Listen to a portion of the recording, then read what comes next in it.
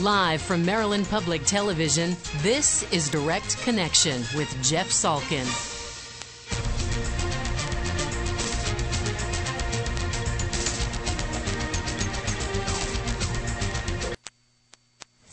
It is not just for kids anymore. More adults are being diagnosed with attention deficit disorder. Joining us in the studio is Dr. David Goodman, Assistant Professor of Psychiatry and Behavioral Sciences at the Johns Hopkins School of Medicine and Director of the Adult Attention Deficit Disorder Center. Thanks so much for being here. You're welcome. Thanks for having me. When I first heard about this, I thought it was, it sounded faddish, to be honest, but you guys have been around for a decade or more. It's very interesting because when you say do you have difficulty finishing things or organizing things or do you get distracted, every adult probably says, oh, yeah, I, I have that experience as well. We're talking about attention deficit hyperactivity disorder, which starts in childhood with inattention, distractibility, and impulsivity, and those symptoms continue in up to 65% of those children into adulthood.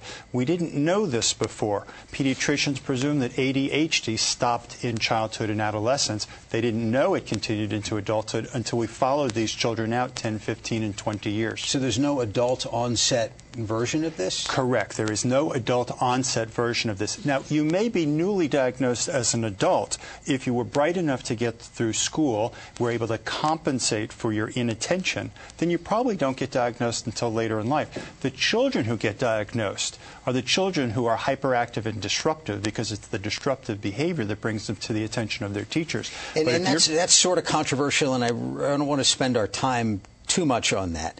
Um, you know, what, what's the difference between um, ADD and ADHD? HD. The formal title is Attention Deficit Hyperactivity Disorder, and it gets broken up into subsets.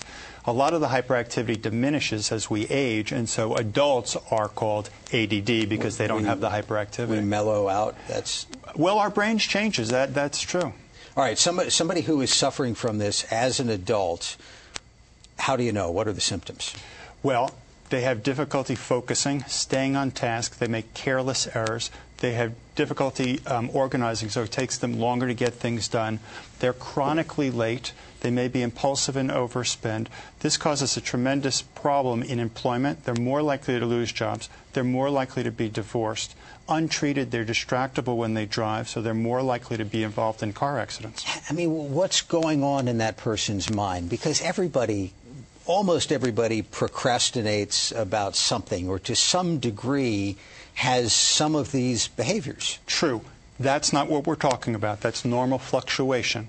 We're talking about a set of symptoms that exist all day long, every single day, for as long as I can remember. It's like having blurred vision until you're 30 years old. You learn to compensate, but now I give you a set of glasses and you realize how much clearer you can see. The medications and the treatments that we use alter brain chemistry normalize it to the sense that you can now focus and stay on a task and read something for a period of time and be able to recall it. You know people in the environment because you'll see people who are kind of fidgety, they're a little distractible, they don't get the answers right, it takes them an inordinate period of time, and people now are sitting, gosh, I, I really do know somebody, and this is highly genetic. 80% of the cause is genetic. So if your child just got diagnosed and you turn to your husband and say, I knew it, there's good reason because there's a 40% chance that a parent has it if the child gets diagnosed. When is it necessary to treat this? And, and is treatment strictly meds or is there any other sort of therapy that works? Well, it's important to get an evaluation to get accurately diagnosed. At that point, if in fact you have this condition, then the treatment encompasses medication, education, learning about what this is and what it's not, organizational techniques and some psychotherapy in a family setting because a non ADHD spouse can be exhausted by the ADHD spouse who can't oversee the homework with the kids and can't go to the grocery store and get all of the groceries on the list. So, what goes on in, in that family therapy?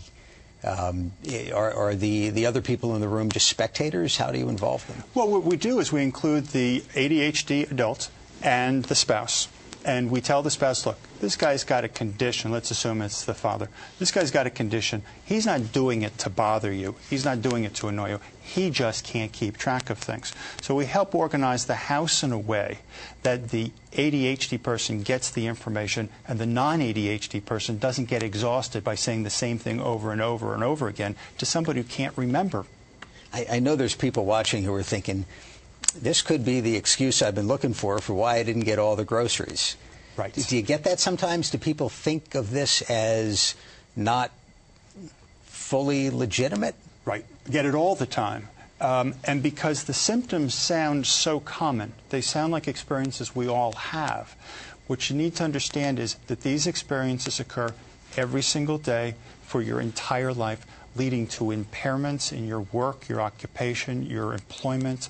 Um, this is more severe. Not everybody in this country has this condition. It's 4% of the adult population, translates into 10 million. In contrast to children, where 60% of the children have been identified and treated in the past year, only 15% of adults have been treated for this condition. We have people walking around with this condition. They don't even know why they can't get things done. Let's grab a phone call. Kevin, Kent County. Kevin, thanks for the call. Go ahead. Yeah, you were saying about um, you know, people don't show up to work on time and and not responsible for showing up to their jobs and stuff like that. I've had ADHD since I was a child. I'm 46 years old now, and I'm the first guy to work every day. I I have to concentrate to do what I'm doing, but it's it's it's not as uncontrollable as what you think. I, I take a drug called Wellbutrin that really helps bring your focus into it, it to the center more. Kevin, that's great. Glad it's gone well for you. Let's let's talk about the medications a little bit. Um, the stuff I had heard of was in the stimulant category. Mm-hmm.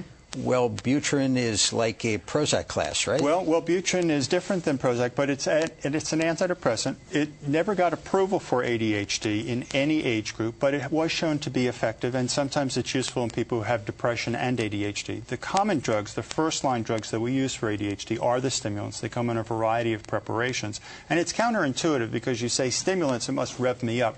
Actually, the ADHD brain is wired differently than the common brain, and so stimulant class of medications tend to calm people down and increase their ability to focus.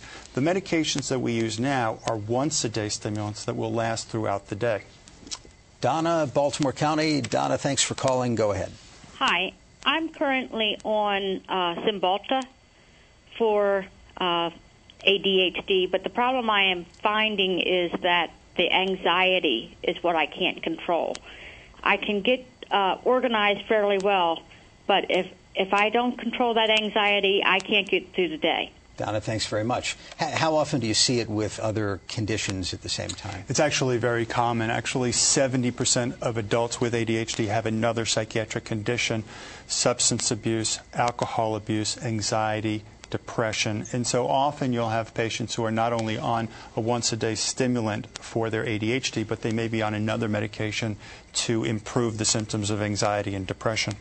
Who, do you see for this? If, if somebody's watching and they, you know they recognize some stuff and they want to talk to somebody, um, can your family practitioner deal with this, or you need a specialist? Well, family practice physicians and primary care physicians are coming up to speed, but you know, nobody's been trained in the residency about this. The research has just exploded in the last 10 years, and so I travel around the country trying to educate physicians as to how to identify this in patients. Now, you can go to your primary care physician, but if they're not experienced or they don't know much about this, then seek out a specialist in your area. And, and the good news, before I'm totally out of time, is that once it's recognized and treated, you can live a pretty nor normal life. Once it's recognized and treated, the, the world opens up. People blossom. They go back to school. They finish college. They don't get fired. They pass their uh, securities exchange exams. It, it's really remarkable. I have one guy double his income in three years. Good deal. Dr. David Goodman of Johns Hopkins, very much appreciate your being with us. You're welcome. Thanks again, and thank you for watching Direct Connection, and have a good night.